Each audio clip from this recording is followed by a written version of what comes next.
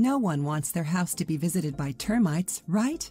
However, these small, unwanted insects pop up when we least expect them. Termites mainly eat wood, but they can feed off of any other material that contains cellulose, such as paper, cardboard, live plants, etc. When they can't find anything to eat, they destroy other objects while trying to find food.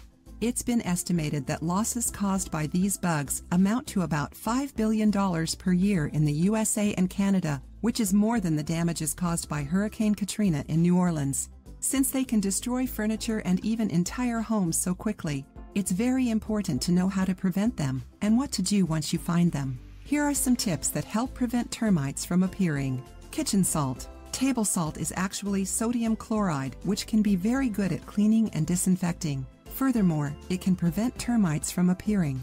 All you need to do is mix equal parts of salt and water and soak some cotton balls in the mixture. Put the soaked cotton on top of the furniture and around the affected areas. Cotton is mainly made up of cellulose and attracts the bugs, while the salt dehydrates them and drives them away. Boric acid. Boric acid is a chemical compound commonly used to treat infections, but it can also be used to get rid of termites. It's so effective that it can be found in several different insecticides made to fight off these intruders. It attacks the termites' nervous system, dehydrating them.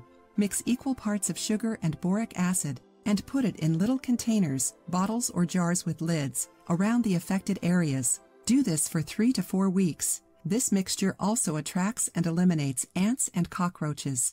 It isn't poisonous in small quantities, but it can cause harm if large amounts are ingested so try to avoid ingestion or contact with your eyes. Remember to keep it away from kids and animals. Essential oils. Over the last few years, people have been giving more value to the use of essential oils. However, they are mostly used in skincare. Most people don't know that they can also eliminate termites. The best oils for this purpose are orange, clove, cinnamon, mint, and eucalyptus. Pour some of the oil in a spray bottle and spray the affected areas. Vaseline. Another good way to get rid of termites is Vaseline. Vaseline isn't exactly a homemade termite poison since it doesn't kill them, but it serves as a repellent, a sort of protective barrier. It's recommended that you rub some Vaseline on your furniture and let it sit for one or two days. Then all you must do is wipe it off and polish it with a soft cloth. Apart from the tips, here are a few more recommendations. Check to see if your house has ventilation spots or areas that are humid and don't get much sunlight, and try not to leave furniture in those areas. Damp wood is one of termites' favorite snacks. Sweep up any dead leaves or plants since they attract termites. In the event that these tips don't help with your termite infestation, call a professional exterminator.